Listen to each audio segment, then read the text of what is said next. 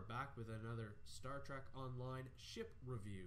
Today, I'm going to be reviewing the Intel Assault Cruiser, or the Archon class vessel. Now, this vessel was released only a few days ago, so I had the opportunity to get it, and, well, here I am, going to be reviewing it today. So, without further ado, let's get into the nitty gritty of the ship's stats, shall we? Starting off with the bridge officers, we have an ensign tactical, a lieutenant commander tactical, a lieutenant, uh, com- uh, sorry, lieutenant engineering, a commander engineering, and a lieutenant commander universal intel officer. For consoles, we have uh, five engineering, three tactical, and two science. For weapons, we have four in the front and four in the rear. Starting with the base hull at level 50, it is 44,850, and at level 60, it is at 52,000. We get a shield modifier of 1, a base turn rate of 7, 4 device slots, impulse modifier of 0.15, inertia rating of 40. In addition to that, you get plus 10 power to weapons, plus 5 to shields and auxiliary power. You get the Starship Ability Package, which I will go over in just a few minutes and you get the crew and you get the uh, standard cruiser command array which is strategic maneuvering shield frequency modulation weapon system efficiency and attract fire. You also get the universal console the increment phase cloaking device. Not only that but it does come with a wide angle quantum torpedo as well just like the regent class. Now let us move on to the design of the ship shall we? alrighty so here is the archon so as you can see here, the saucer section, um, it is fairly rounded, but it does have kind of like a almost a triangle shape to it, a little more rounded near the front, but it does have that tip. So uh, there's that. Uh, let's see here. Now at the back of it, it's it's uh, curved inward. Um, so you do have that. You do have this long piece right here, um, which does jut out a little bit. I uh, don't know what that is for. Maybe maybe lights for um, shuttles. I'll get to that in just a moment. Now I would imagine that this little dot here is probably the bridge. Um, Starfleet likes to have their bridges on top of the saucer section. Um, now I could be wrong on this, but who knows? And then here at the bottom here, you have the bottom of the saucer section. Uh, not really much to write home about. Um, does have this little piece here. Oh, and on either side, there's this thing uh, uh, on on either side here. Now, I know it's a little bit difficult because I have the Type Seven texture on it, but this is kind of like a kind of like a like a force field thing. Uh, now, I don't know if that doesn't look like it's big enough for shuttles or anything like that, but uh, be aware that it is there. Okay, back to the bottom here. Uh, one thing I did notice right off the bat was the the NX and the registry is backwards. Now I don't know if that was a mistake on Cryptic's part or if that's how they wanted it. Either way, that's something I don't like. I, I prefer it to be the other way or uh, properly. Uh, you do have this piece here, so I wouldn't be surprised is if there is a saucer separation module that you could probably put on there. Um, you have the deflector dish, which is seated fairly back. Uh, it's a lot larger than the other ones, um, and it's yellow. That's the interesting thing. It is yellow or orange, whatever you want to you you you prefer. Um, you do have these glowy pieces on either side here.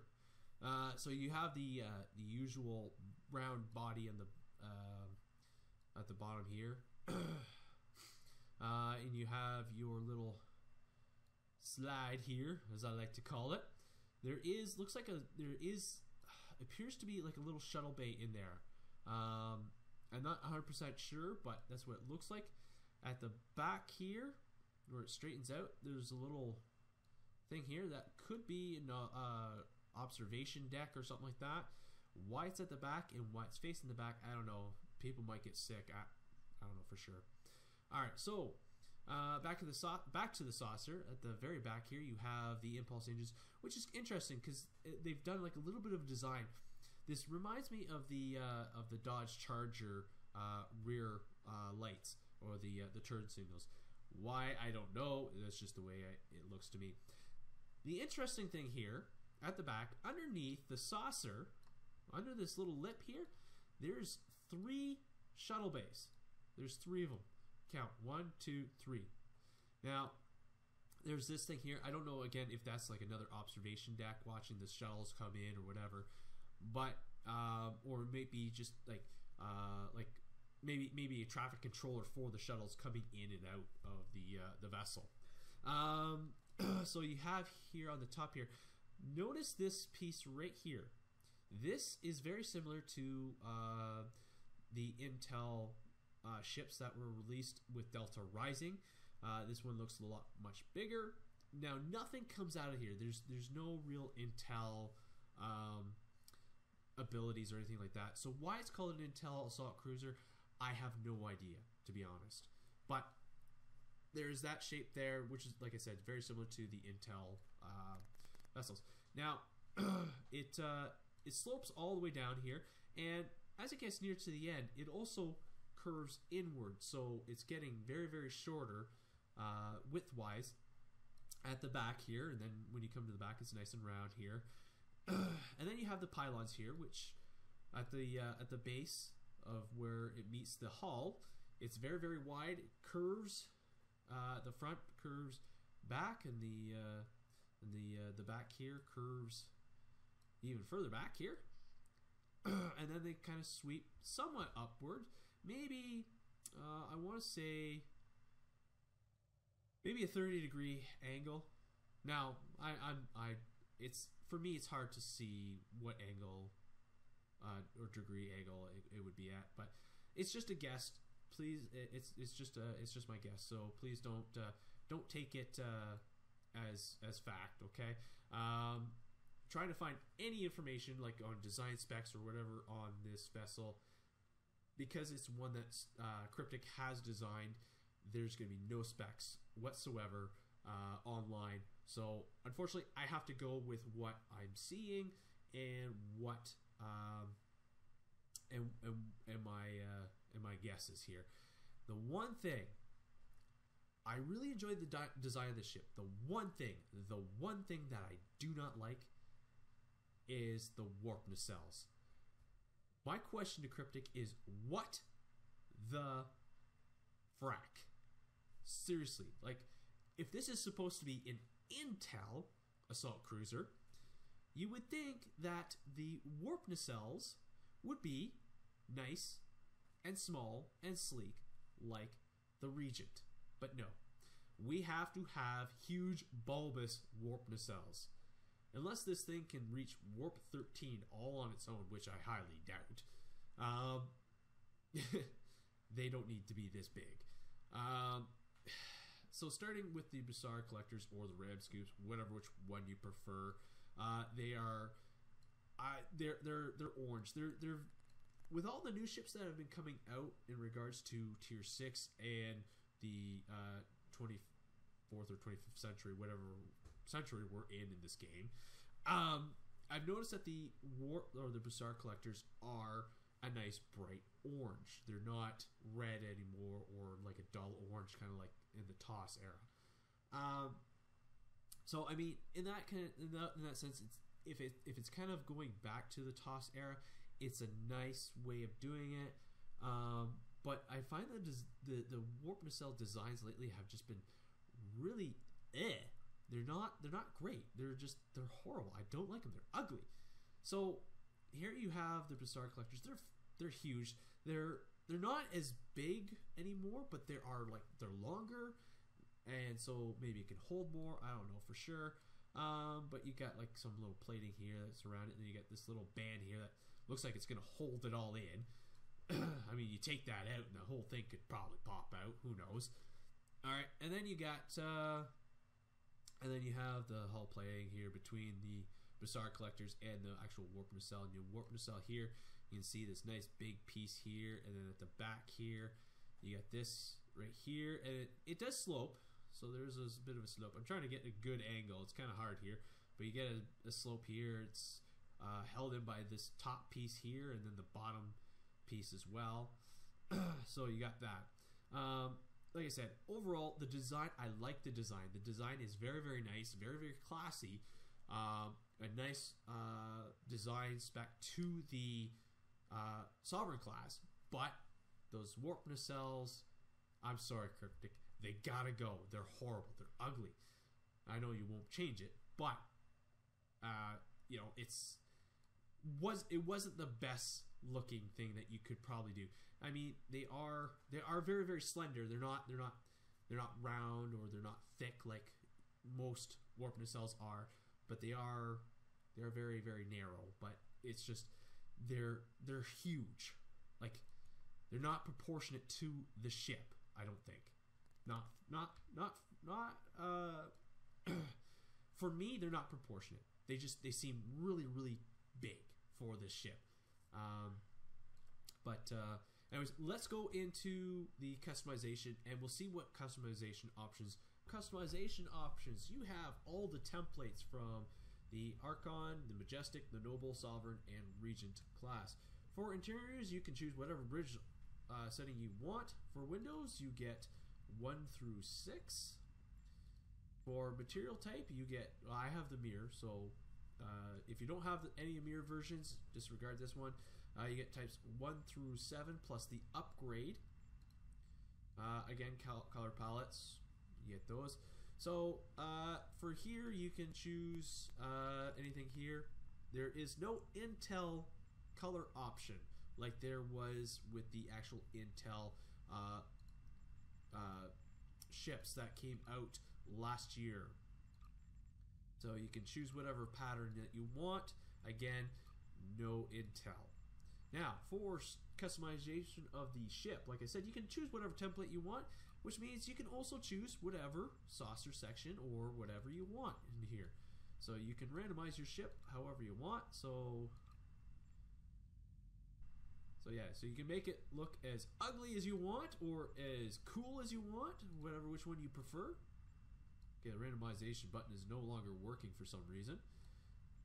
So we're gonna just have to do this. Uh, actually, here, let's go back to here, the Archon. So I find that if you want a smaller saucer section, the um, the majestic saucer section looks actually fairly nice with this vessel. Um, so if you're looking at customization, uh, majestic, you may want to look into. Um, now, as for bodies, I keep the Archon. I kind of like how it is. You can go with the Regent uh, nacelles because I think those look really nice and sleek. Um, as for the neck, just keep it on as the Archon seems to do fairly well. Now pylons, um, uh, maybe go with the Sovereign here. So there, the ship kind of looks neat, you know, looks kind of proportionate.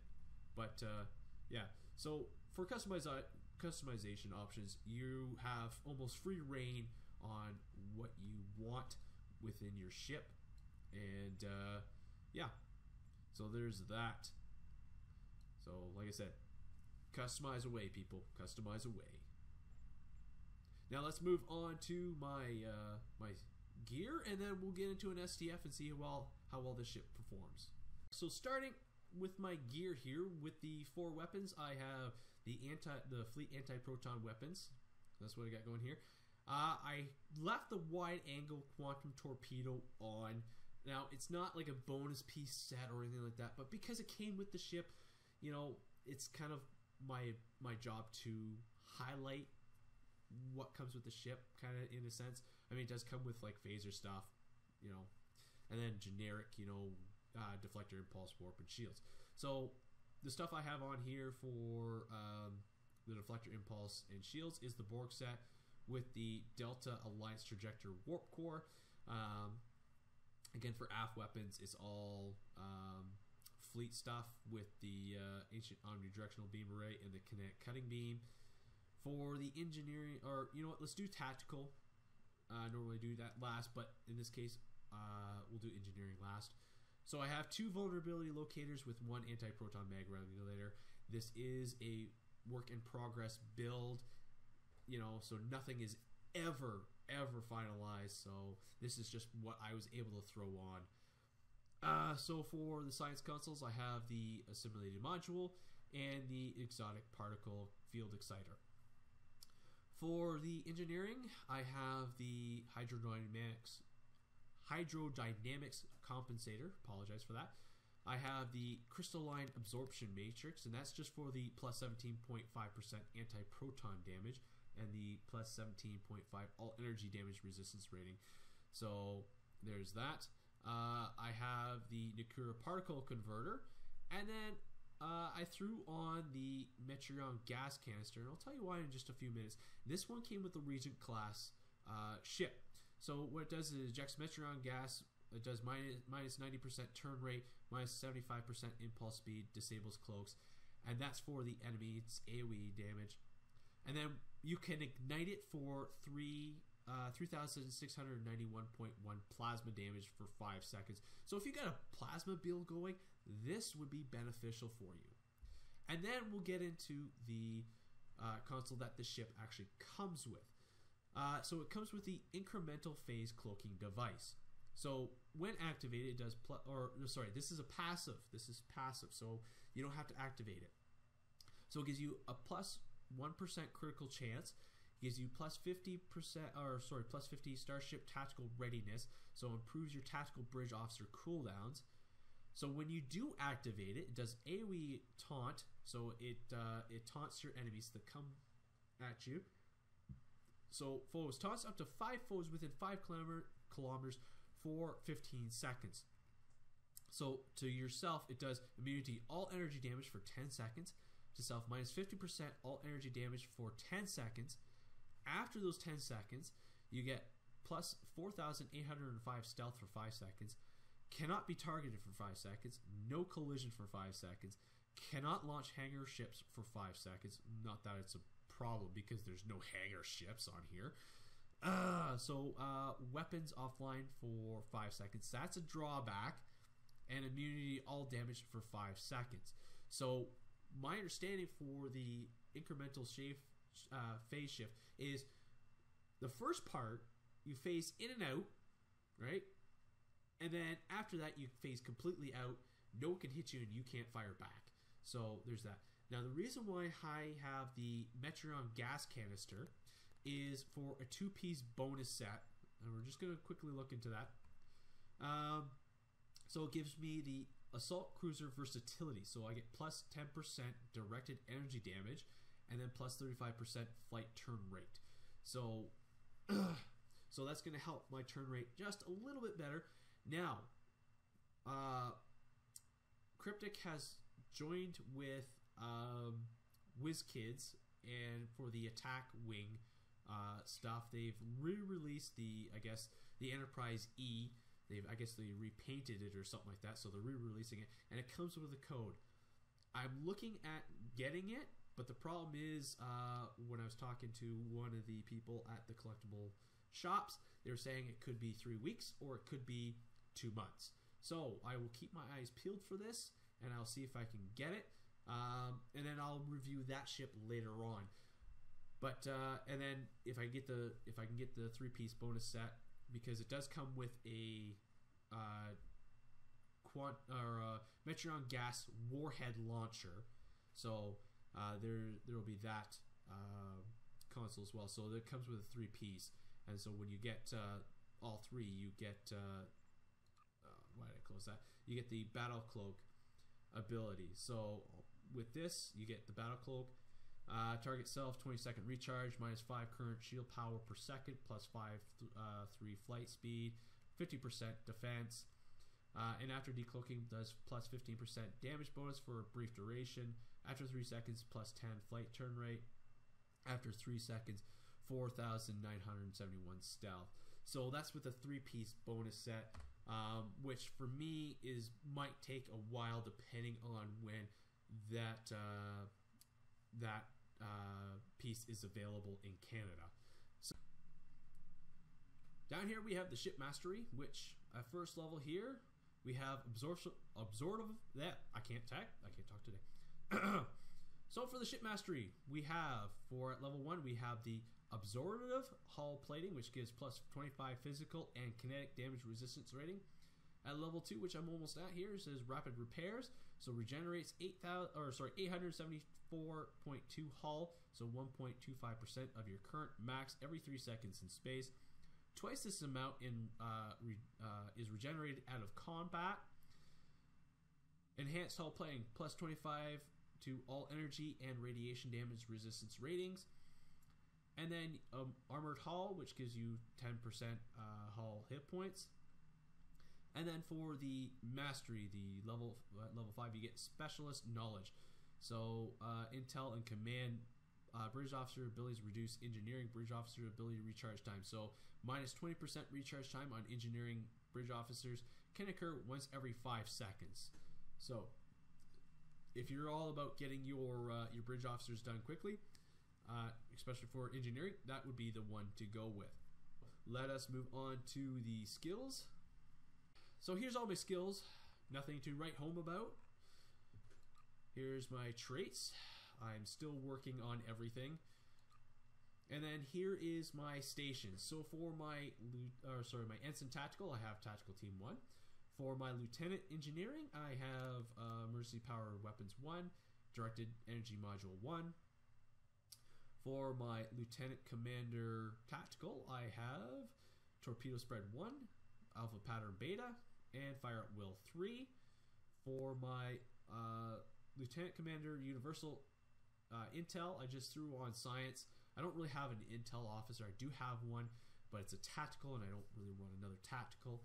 Um, and I don't know if the tactical uh, intel abilities are the same as the science. I'm not sure. Really haven't looked too much depth into that. But anyways, for abilities, I have science team one, hazard emitters two, and then gravity well one. And then for my commander ta- or my commander engineering, I don't know why I'm just I'm getting mixed up. Anyways, uh, emergency power shields, uh, engineering team, emergency power weapons three, and then Aceton beam two. So that's what I got going for me. So let's take a ride, or let's get into an STF, and we'll do the uh, the Borg infected space advance, and we'll see how well we do with this ship.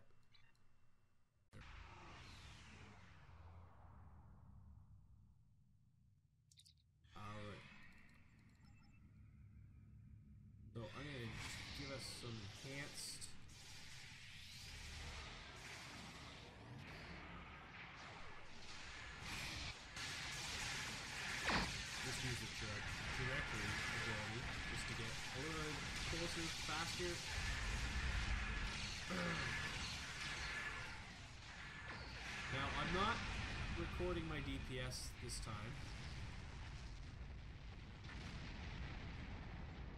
So, um,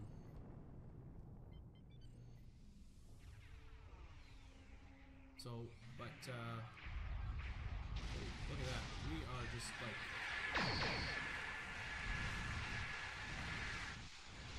we have someone who's doing quite a bit of damage, I, I would assume. At that. Shield's almost gone. So I'm just use the, uh, the crystalline matrix there just to increase my damage.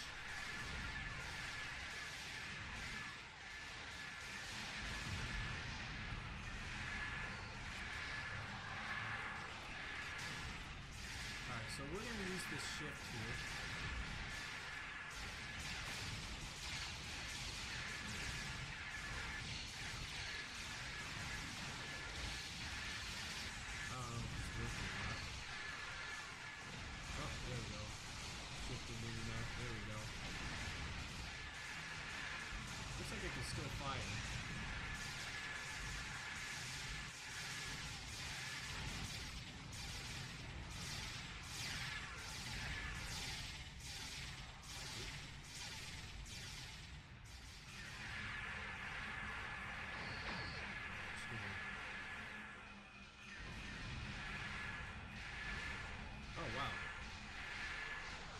was sitting over here just doing whatever, someone was uh, already uh, doing a thing over here.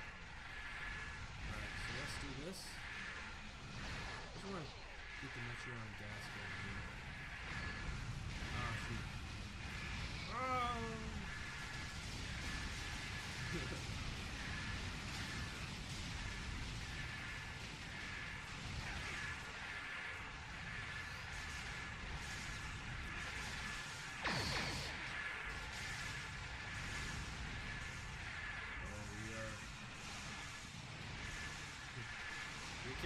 kicked the hornet's nest, I think.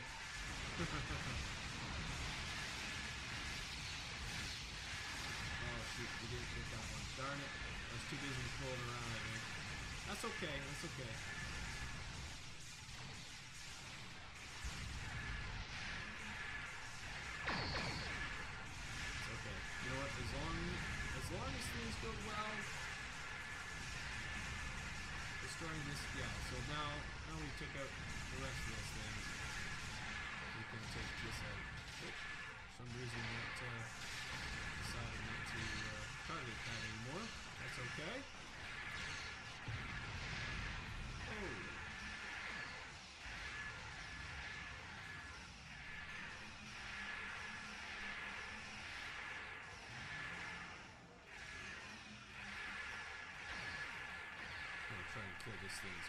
Possible. There we go. Alright, now.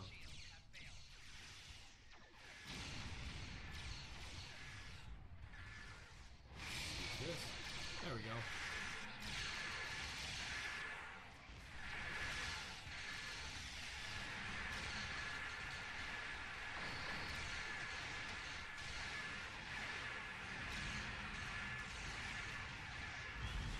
There we go. Now we move on to the uh, tactical cube here. Very, very slowly. There we go. Now we got some speed here. There we go.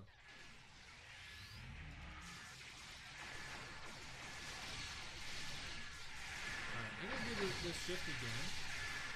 See what happens. Okay, so you see how it's kind of fuzzy there. Okay, now now I'm kind of like invisible. Oh, there we go. Pop, pop back out of that. There we go. So it doesn't, so it doesn't last for very long, but uh, you know it is something something useful at least. There we go. Let's get out of here. Woohoo! Awesome. So there we go. Uh, not a bad ship. Now, for an intel ship, like I said, with the name within intel and doesn't have any intel abilities other just a bridge officer, um, you know, not not wonderful. But um, as as a cruiser, it flies very very nicely. I like it. Uh, you know, can hold it hold its own. Uh, I didn't have any issues with uh, with anything uh, in regards to the STF here. Uh, now we did work fairly well as a team, but you know, I think I only lost shields uh, once, and you know was able to quickly recover that. But uh, other than that, I mean, it's it's a pretty nice ship. Like I said, the, two two things. One is very very minor, and the other one is kind of uh, you know shake my head. The minor thing is the registry on the bottom of the saucer section, which is flipped backwards. I do, I'm not a fan of that. I don't like that. I hope that's something that they can fix. And then the other thing is the nacelles. The nacelles, I'm sorry. For me, they are ugly, but um, you know you could always change those with with one of the other uh, ships that are available uh, with the assault cruiser. Anyways, guys, that is it for me. Thank you for watching. Live long and prosper. And as always, we'll see you out there.